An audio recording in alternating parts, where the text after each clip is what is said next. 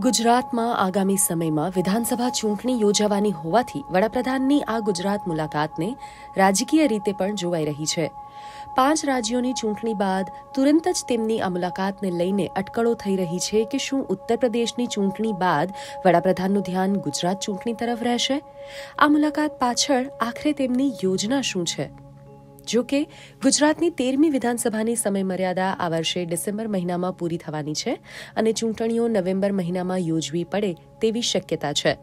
અટકળો છે કે ઉત્તર પ્રદેશ સહિત ચાર રાજ્યોમાં થયેલા ભાજપના વિજયનો ફાયદો લેવા માટે ગુજરાતમાં પણ વહેલી ચૂંટણી આવી શકે છે.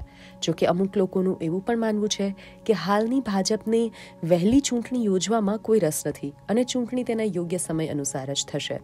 રાજકીય વર્તુળના અનેક લોકો એવું પણ માને છે કે ભાજપના મોટા ગજાના નેતાઓનું મંત્રી પદ લઈ લેવામાં આવ્યું છે.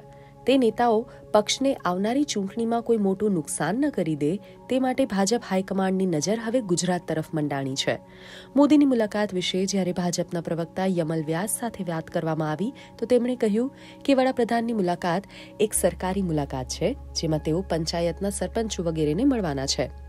બીબીસી ગુજરાતી સાથે વાત કરતા રાજકીય વિશ્લેષક મનીષી જાનીએ કહ્યું કે ગુજરાતમાં હાલમાં જે પ્રકારે કોંગ્રેસ પક્ષની સ્થિતિ દિવસે દિવસે બગડી રહી છે, તેને જોતા લાગે છે કે ભાજપને તેનાથી કોઈ મોટો ખતરો નથી. ભાજપ હાલમાં સારી સ્થિતિમાં છે અને મોદીને હમણાંથી જ રાજ્યના ચૂંટણીલક્ષી કાર્યક્રમો કરવાની જરૂર નથી. આ અંગે બીબીસી ગુજરાતીએ કોંગ્રેસ નેતા અર્જુન મોઢવાડિયા સાથે પણ વાત કરી. તેમનું માનવું છે કે ભલે બહારથી ન દેખાતું હોય, પરંતુ ભાજપમાં હાલમાં અંદરનો ક્લેશ ચરમસીમા પર છે. બે હજાર એકવીસ પહેલાના તમામ મંત્રીઓ હાલમાં ઘરે બેઠા છે અને તેમાંથી ઘણાને ખબર પણ નથી કે આવનારી ચૂંટણીમાં તેમને ટિકિટ મળશે કે નહીં. આવા તમામ લોકોને આશ્વાસન આપવાની જરૂર છે, માટે મોદીએ ગુજરાત તરફ મીટ માંડી છે. જો કે રાજકીય વિશ્લેષક વિષ્ણુ પંડ્યા આ વાત સાથે સહેમત નથી થતા.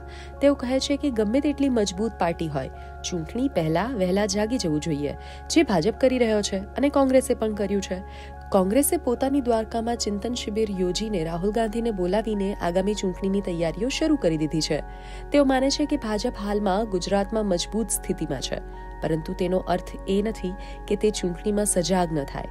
કારણ કે હવે લોકો ખૂબ સહેલાઈથી કોઈ પણ વાત માની નથી લેવાના. લોકો હવે વિકાસની વાત કરે છે, પોતાના મુદ્દાઓની વાત કરે છે અને તેવામાં તેમના સુધી પહોંચવા માટે હવેથી તૈયારીઓ શરૂ કરી દેવામાં જ સમજદારી છે. તેમણે એ પણ કહ્યું કે હાલમાં રાજ્યમાં જરૂર છે કે ભાજપ પોતાના સંગઠનની તાકાત બતાવે, જેથી લોકોને ખબર પડે કે તેની મજબૂતાઈમાં કોઈ ફરક પડ્યો નથી.